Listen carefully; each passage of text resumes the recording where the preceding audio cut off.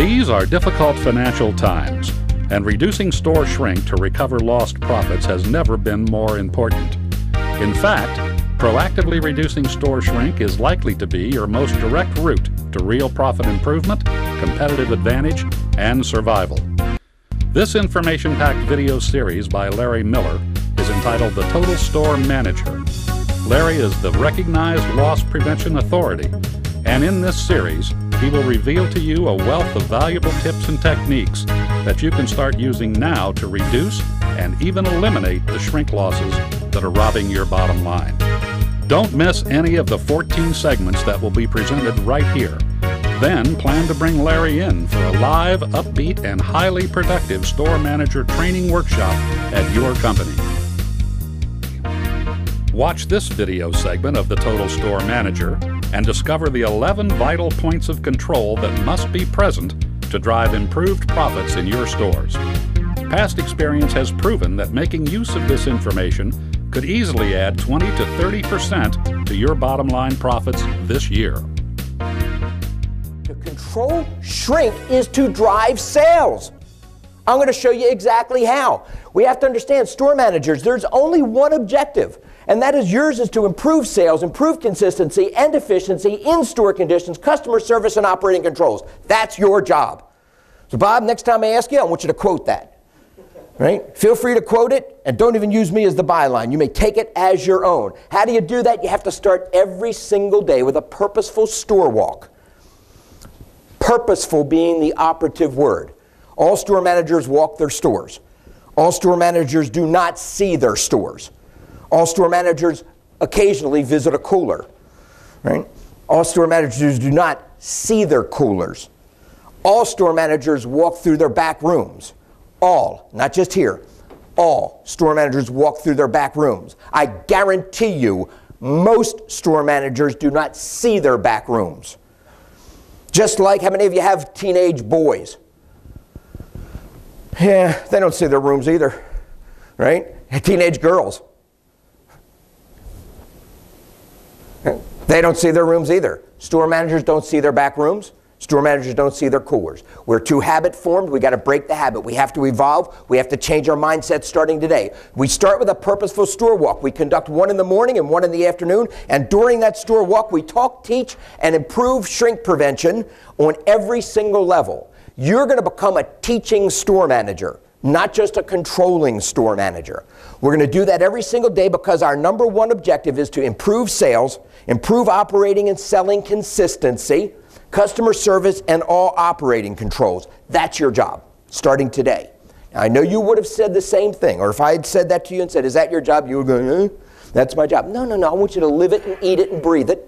And I want you to take it to every one of your store managers, or every one of your department managers, or every one of your lead people, or every one of your new hires, every part timer in between. You have a 70 30 part time to full time mix. I want the part timers to understand it just as sure as the full timers understand it. I want everybody to get that message. Our job is to improve sales, improve operating consistency and efficiency, definitely take care of the customer, and effect operating controls everywhere we can in the name of more profit. That's our job. Simple, clean. Everybody's got to understand it. Store managers, you are the communications vehicle, not your owners, not Foodtown store managers. This segment is called the Total Store Manager. First things first, store managers have to change their mindset. There are 11 points of control that I want you to put into your minds and start thinking about, start working each and every day. Some of you have this pass out slide, some of you don't. I want you to take, take notes. I want you to write down those things that are important to you as you see it. These are the 11 points of control that have to be present. We have to have key and access control receiving, ordering it for proper sell through, backroom conditions, inventory turns, selling, effective selling, known loss controls and first loss controls, perishable rule of three. Remember that, we're going to come back to it efficient shoplifting prevention, cashier theft and controls, and hiring and orientation and training.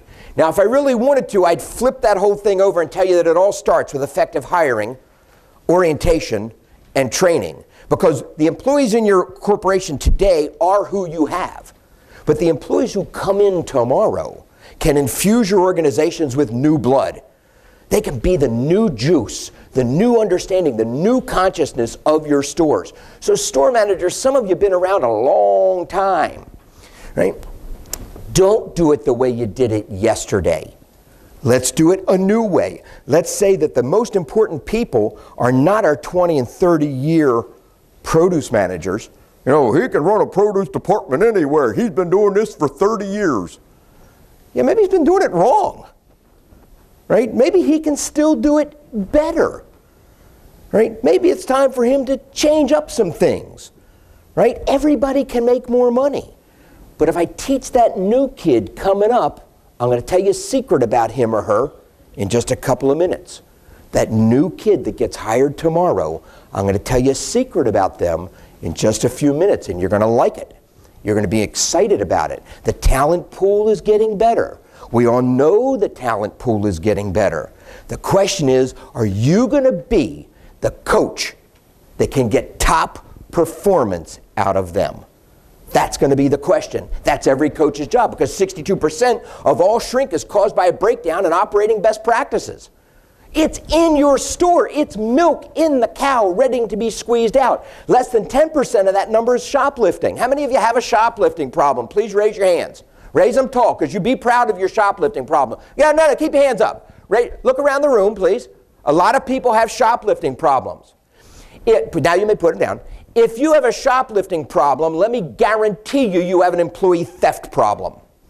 Right? Let me not suggest to you that you have an employee theft problem. Let me guarantee that you have an employee theft problem. And if anybody wants to go, my employees don't steal, I want to go to work for you. Because you aren't looking. You aren't paying attention. Even worse, they're going to steal more. All right? Here's why Shoplifters are lazy. Right? Say yes. Right. They're lazy. If they weren't lazy, they'd get a job. Right? Now, if they're lazy, where do you think they shoplift as a proximity to the place where they live? Near or far? Near. Right? Okay, it's kind of like Sesame Street. Near or far. When people come into your stores to get a job, honest people come into your stores or people come in and apply for that cashier position or that clerk position, do you think that they live near or far? Near. Shoplifters and all of your employees come from the same geological, ge- uh, geographical gene pool. They all live together. They're in the same community. They go to the same churches, they go to the same schools, they shop at the same stores. One, they all come to your stores. The difference is one of them works and one of them steals. They happen to go to school together, they know each other. Right? I was in a store yesterday, two, pro, two deli clerks were having the most wonderful conversation with two kids that were standing there that were not working there. Right? I noticed them because one of the boys had his pants down to his knees. I swear, they were like down to there. And they were talking about what, what you going to do this weekend? We're having a party. Where do you think they get the food and the beer and the wine and the pop and the chips and everything else for that party? Your stores. Do you think they always pay for it? They don't. It's proven. We know it. So we have to have controls in place because they all come from the same neighborhood, the same schools. They grew up together. The kids who steal and the kids who are honest, they grew up together. They all indeed go to the same churches, synagogues, or mosques together. So 10% is shoplifting. The other 52% is caught up in poor execution of best practices in your store. So as a total store manager, your number one offense is changing your mindset today, coming out with new breath, understanding and focusing on sales, sanitation, and shrink, being consistent and visible in your stores, have a presence in your departments. Don't just walk through your departments. Don't just accept what's going on every single day as has been. Take a new breath. I'm going to share with you exactly how to do that. Management and teamwork and friendship. Store managers, let me guarantee you this. Your best partners are your department heads. That's your best partner. You are not there to catch them doing something wrong. You are there to help them see opportunities.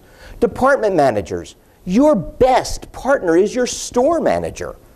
The store manager is there to help you see things that your daily habits and your daily work may not allow you to see clearly enough.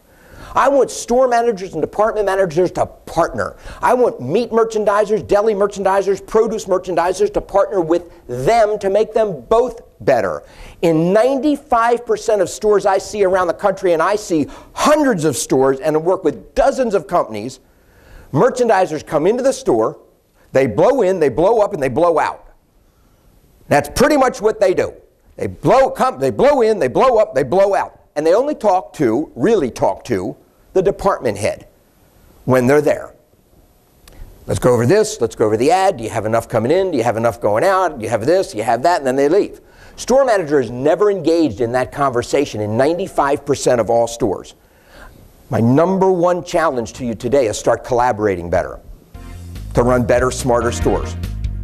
For information about customized seminars for your store managers or for specific solutions to your loss prevention problems, contact Larry Miller personally at 602 448 8500 or visit retailcontrol.com for free tips, techniques, and lots more.